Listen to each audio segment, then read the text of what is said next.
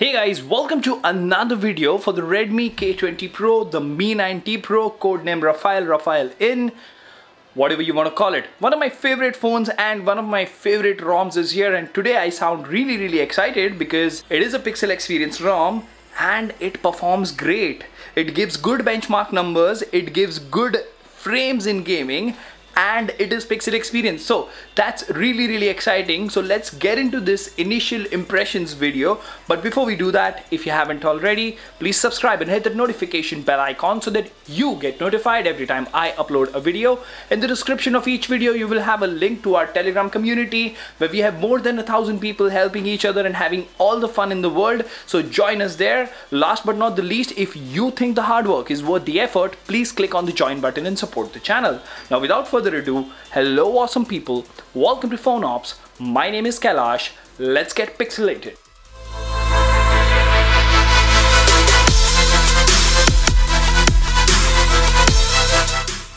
Right, so Pixel Experience Plus or the normal Pixel Experience for that matter, you do see it has a different version. I read somewhere that it has perf kernel. Let's have a look at the change log real quick. Here we go. Right, so this is PEASP official ROM based on the OSS vendor right? If you're coming from any MIUI ROM 11 OS flash handwritten firmware on your device for more information this is this because this is a OSS based ROM. And I was told by someone or I read somewhere that this comes with perf kernel but unfortunately it doesn't. So nonetheless uh, my bad but it does say that it comes with a pixel experience kernel. Now that is something new because not only this performs great it's pretty pretty smooth. The battery life is pretty decent because we did stream with this particular ROM and it was doing great. So let's have a look at the change log first and then we can have a look at all the other things. So let's click on change log over here. There you go this is the change log guys. June security patch, updated translations, updated GApps, improved face unlock, minor bug fixes, introduced app lock. That is a game changer for a lot of guys. Introduced per app volume control, that is good. Improve, improved power menu customization. So that's everything that you have and you have the normal version and then you have the plus version. Some features here and some features there. So as I said, the ROM uses OSS vendor and P based on YAP kernel. Okay, so now we know what the kernel is all about. Now let's have a look at the face of this ROM shall we? It looks completely like a Pixel device if, if you will ask me after your Flash Pixel experience. Well anyways, that's the whole point of the ROM named Pixel Experience. So at the front, you do have your usual home settings in which if you go to about, you will notice that it's the Pixel launcher or the Pixel Experience launcher.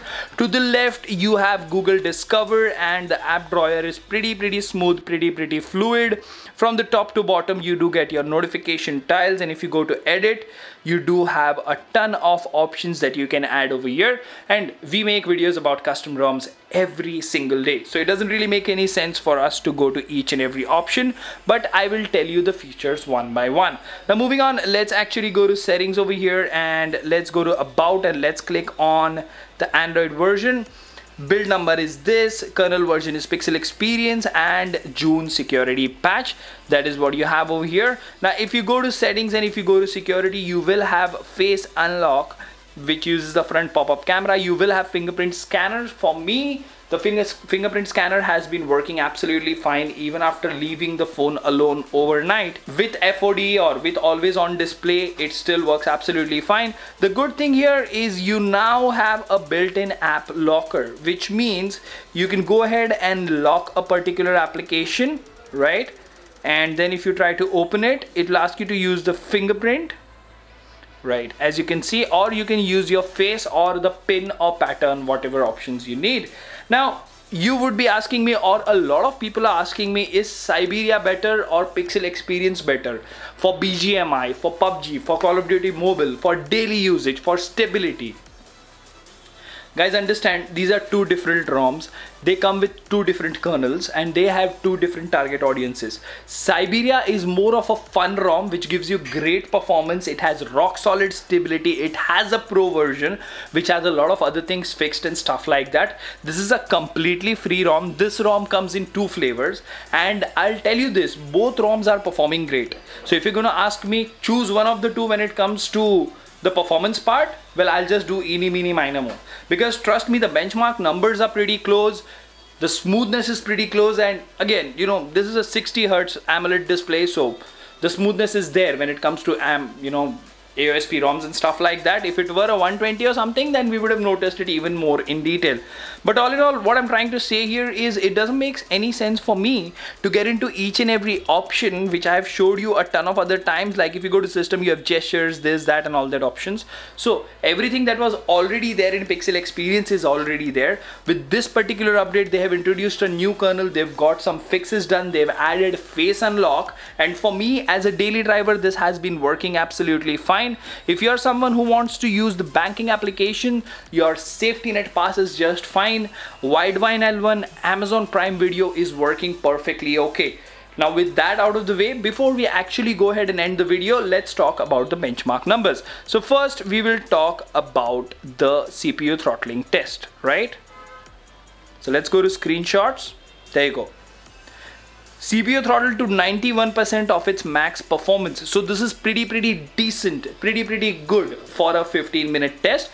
Now moving on, we will talk about Geekbench. Single core 745, multi-core 2521. Now trust me for a 855, this is a very, very decent score. We did take the effort of going to Antutu as well. So let's see what Antutu has to say. 541,481 is the score over here, right? So, you know, all in all, what I can say is uh, the ROM is pretty awesome. Earlier, there was a thinking, there was a myth that Pixel Experience ROMs are for daily use, they are not for gaming. I guess they are trying to break that stereotype with giving you amazing performance and daily driver stability as well. Let me know in the comment section what do you think about this new face of Pixel Experience Plus for the K20 Pro. Until the next one, this is Kailash signing off at PhoneOps. Keep smiling, take care, goodbye.